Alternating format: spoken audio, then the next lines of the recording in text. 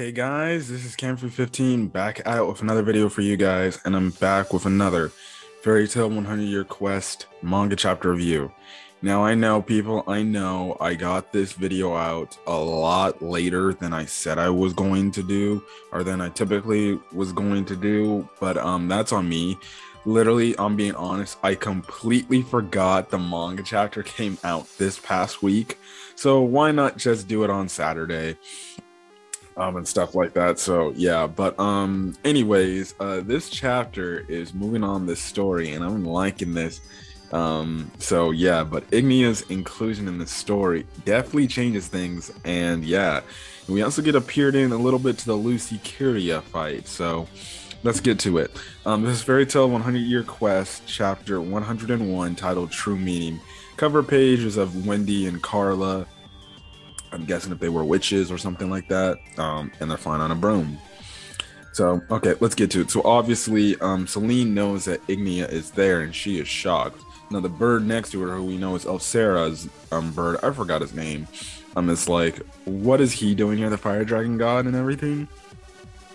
And Selene knows that's Ignia's son, and and he's she's wondering like, is he after the heart as well? So you know, it, obviously this is going crazy.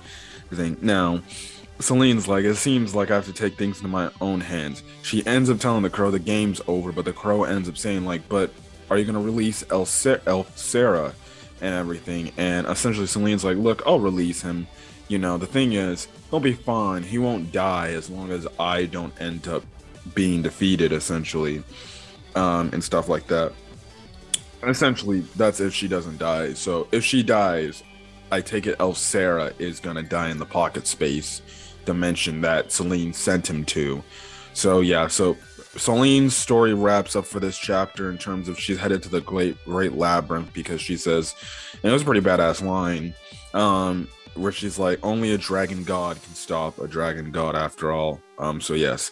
Anyways, um, Natsu and Suzaku are confronted by Ignia, and Ignia is just heating the landscape around to the point it's making them both sweat, including Natsu. And remember, guys, Natsu is a fire dragon um, wielder um, and stuff like that. And he's a for truly he's a fire magic user. And typically, fire magic people don't get affected by the environment. But here, oh no, he, you see Natsu actually like sweating bullets which goes to show you how intense Ignia's flames are. Now, not to ask Ignia, like, what the hell are you doing here, dude? And essentially, Ignia is saying that there's something here he has to burn. Now, we don't know what he's got to burn, um, but he has something that he needs to burn. That could be the heart, or maybe he's talking about Selene. He wants to burn Selene. We don't know. Now, he takes a look at Natsu and he's like, eh, you still don't cut it. You're not strong. You're not strong yet. Go get stronger before you're able to confront me and stuff like that, um, because you're a little bit too weak. Um, and obviously, Natsu in perfect Natsu character is like, why the hell are you running away? Please, you think you're all this and that? Please, I was Igniel's first son in a way, but whatever. He he goes on to say like, listen, my job is to take you, the dragon gods, out, and eventually I'm gonna get you too. But you know what? You saved me the trouble, so I'm gonna come here and kick your ass right now. Um, so I thought that was totally cool, badass of Natsu because he's like, that's Natsu's character. I just love it. Everything. No, Suzaku in the background, we see this part. He's trying to hold Natsu back. He's like, I don't think we should fuck with this guy, dude. We should not fight, anyways. Um, you know, that's the, he that's the crazy thing because he's like dude i don't think we should be fighting this guy. I think we should actually back off. Now in response to what natsu's little challenge was Ignia's like the truth is you only harvest something when it's ripe. There's no way you can burn me the way you are now. So natsu i'm guessing goes in for a fire dragon destruction fist or something. They don't specify what move. It, whether it was dry, fire dragon iron fist or fire dragon king destruction fist he he fires it um, and Ignia isn't even damaged. Ignia is like literally saying, like, dude, that's the best you can do. This feels like a freaking campfire flame, to be honest. Um, and stuff like that. And that's what he says. He's like, You call this a flame? It sounds more like a brisk fire. which goes to show you how strong Ignia is now. Suzaku's like, this dude is a fire dragon user, or as a fire um magic user. He's not gonna feel any true pain from it, um, and stuff like that. So Natsu's like, oh, please, I was just trying something and stuff like that. So yeah. Anyways, Suzaku ends up saying, please, I'll show you what real flames is and or what real flames are. And he kind of just does this fire attack that surrounds Natsu and Suzaku that is freaking crazy. Um, and it blows a huge blast within the labyrinth and it absolutely destroys like it makes a gigantic hole essentially in the labyrinth. And the other st- the the other people whether they're diablos or fairy tail end to pick it up and they're like what the hell is this heat? and stuff like that you know and they're like okay this does not feel good and stuff like that. Now Gaj actually asked Gray like can you cool us off and freaking um Gray we haven't seen if Gray can do it but he, Gray's wondering like is it Natsu um no because they were also confronted by um Ignia as well so yeah now um Misaki is like this is a very interesting turn so she knows something's up and everything. So yeah anyways what happens is Natsu and Suzaku have been taken down for the time being and they're like what the hell and stuff like that. So yeah essentially Ignia is gone and Natsu's trying to go after him but Suzaku is like, whoa, we need to wait and we need to think this out and stuff like that because we can't, you know, win this fight. And then two, um, uh, and two, um, Suzaku's like, please, we haven't stopped our fight yet. So guess what? We need to continue it now. And everything. And Natsu's like, okay, fine. I'll be my win, sure. And stuff like that. And Suzaku's like, please, I'm the one that had you on the brink and stuff like that. Um, and essentially Natsu's like, look, dude, I would like to sell this with you right now, but you see, uh, my friends are in trouble and your friends are in trouble as well, and stuff like that. Because with Ignia going around, he's gonna destroy things and he's gonna take things out because he has no sympathy at all. Um, and that's when Natsu's like, so after we fight, um, after I'm done fighting him, we can fight again, and stuff like that. Um, and Suzaku, that's when he just gives Natsu the agreement. He's like, okay, fine. How about this? One man cannot defeat another man, but two men might stand a better chance against such a powerful foe. Um, let's team up. Let's join forces. Now, Natsu's against this idea, but essentially, um, you get essentially he essentially gets lured in because Suzaku's like, well, guess what? Your friends are gonna get hurt, so why not just work together and stuff like that? because if you're gonna have to protect your friends, you'll do it by any means necessary. And now it's just like, all right, sure, I guess you're right. Um, so let's do a tag team, and yeah, so this storyline for Natsu and Suzaku ends with them teaming up. And I won't be shocked if it's gonna have to come to the whole thing of the the entire Diablos and Fairy Tail members in the labyrinth reluctantly realizing they have to agree to uh, work together to take out the two dragon gods. Because hey, why not take down two birds with one stone. You know, you work together to take down two dragon gods here, and you accomplished your goal for Fairy Tail. And in a way, we know that Diablos is also looking to take down the dragon gods as well. Um, so this would be a pretty cool way to have Diablos and Fairy Tail working together um, to take down the dragon god Selene and um, Ignia. Now, I think maybe they'll get some. They'll be able to take Selene down working together, but not Ignia. And maybe this could be the start of the Fairy Tail Guild and the Diablos Guild. Maybe potentially starting to be like, you know what? You're not as bad as I thought you are. Maybe we just had some misunderstanding, and then you know, obviously, you know, Fairy Tail and the Diablos Guild end up being best buddies and stuff like that. Um, I definitely feel like this is where it's going. This is the start where Fairy Tail and Diablos end up becoming best friend guild people and stuff like that because it's the same thing with Sabretooth. You know, they had a beef with Sabretooth during the Grand Magic Games, and by the time the Grand Magic game was over, um, you know, the Sabretooth and Fairy Tail Guild, they're friends amongst each other and stuff like that. So, yeah, this could be the start to Fairy Tail and Diablos becoming the next guild um, to become friends with the Fairy Tail Guild and essentially become allies to them um, in the future um, of the series and stuff like that. So yeah, um, I think it's pretty cool. We're getting Natsu and Suzaku essentially working together and stuff like that. So yeah.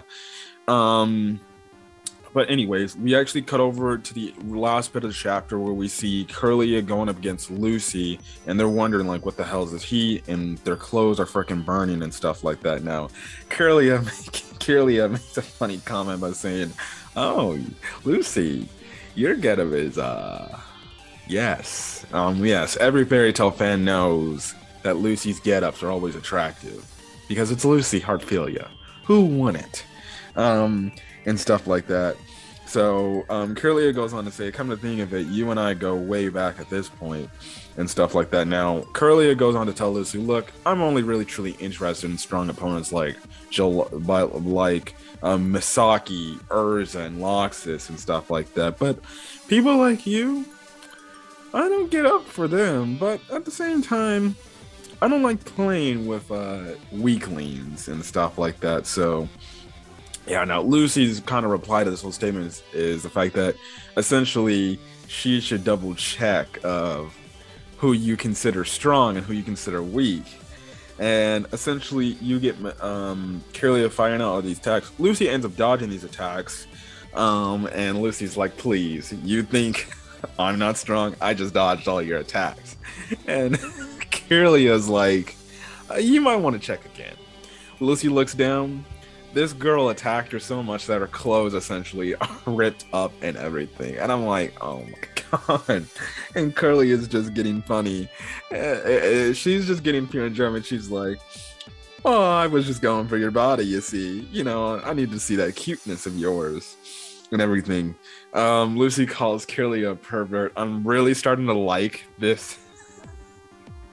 I'm really starting to like this dynamic. Uh, you know the these two chicks going at it with each other. Um so anyways what happens is lucy goes into her star dress cancer mode and she's like please you're slashing opponents then i'm gonna slash you back. And everything. And essentially curly is like please you're out of my league. You're not gonna cut me.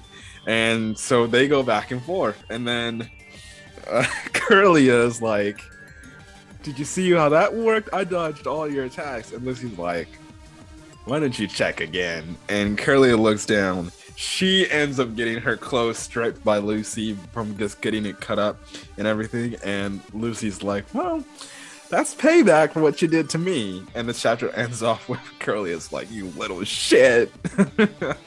um, you get a funny look. It, it that was a that that was funny as all get up. Um, I can't wait to see the anime animate that scene for obviously the men of culture scenes because uh the plot.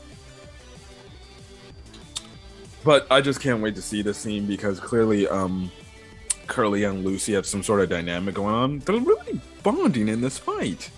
Are they going to be best friends somehow? Weirdly we can we know lucy has made some weird like friends out of the people she's fought. Like brandish is one of the weird ones um and stuff like that Curlia would be another person that's out of the weird blue um, and stuff like that. But hey, um, it was pretty dang good of a chapter, um, and I'm definitely interested to see where the story is going to be going.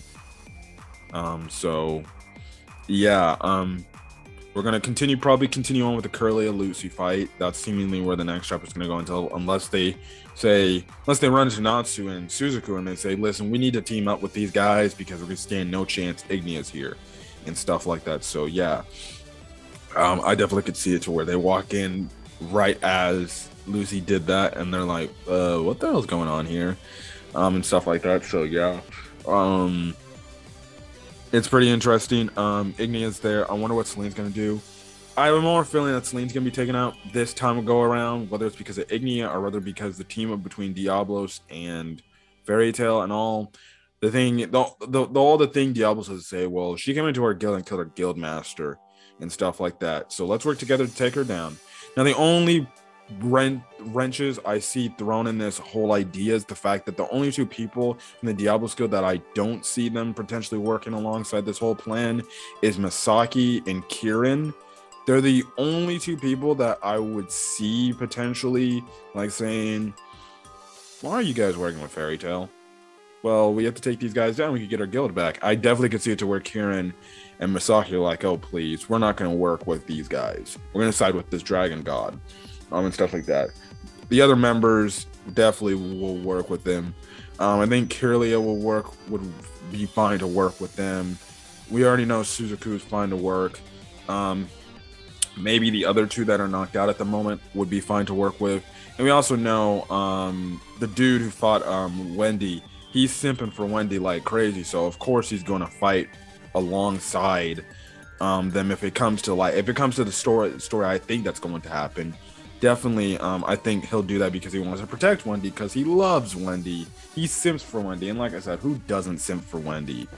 Um, anyways, um, but that's kind of it. So yeah, um, enjoy this chapter. It was a good chapter. Again, sorry for getting this chapter late. I completely forgot we got a manga chapter this week, and then like I said, I'm I'm doing school, so all this stuff is kind of um, all over the place. But anyways, guys, if you guys like the video, if you guys like the video, leave a like. Put in the comment section your thoughts on this week's episode. Uh, why do I keep doing that? Uh, this week's manga chapter of Fairy Tail, um, 100 Year Quest, as well as the subscribe button. Um, if you want to get more Fairy Tail content, as well as any other anime content, I upload to the channel. But other than that, guys, I'm gonna get out of here. Hopefully, you guys have a great rest of your day or night. Video. Until then, guys, peace.